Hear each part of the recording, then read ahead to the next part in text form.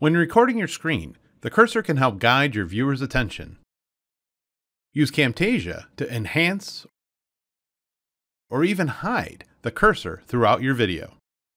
Before we start, it's important to note that it's only possible to edit cursor properties, add effects, and hide the cursor for screen recordings captured with Camtasia, also known as TREC files. Let's start with editing the cursor properties. First, drag a Camtasia screen recording onto the timeline. While the media is selected, click on the Cursor tab in the Properties panel.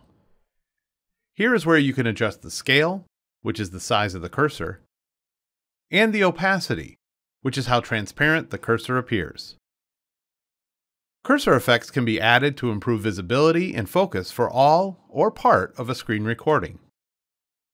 Select the desired effect from the tool bin. We'll use the highlight effect. Drag it to the timeline and apply it to the screen recording. Once it is applied, the effect happens for the duration of the clip. To adjust when the effect happens, click on the arrow on the bottom of the clip to open the effects tray. Then you can drag the effect handles to adjust when the effect starts and ends during the clip.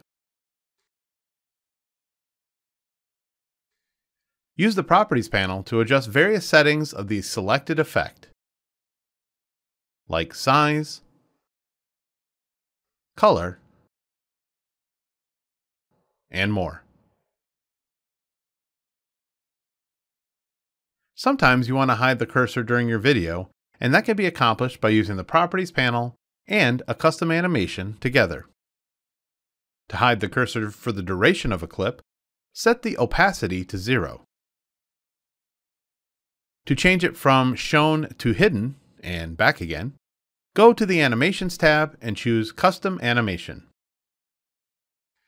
Drag it to the screen recording and adjust the animation arrow to the location you want to start hiding the cursor.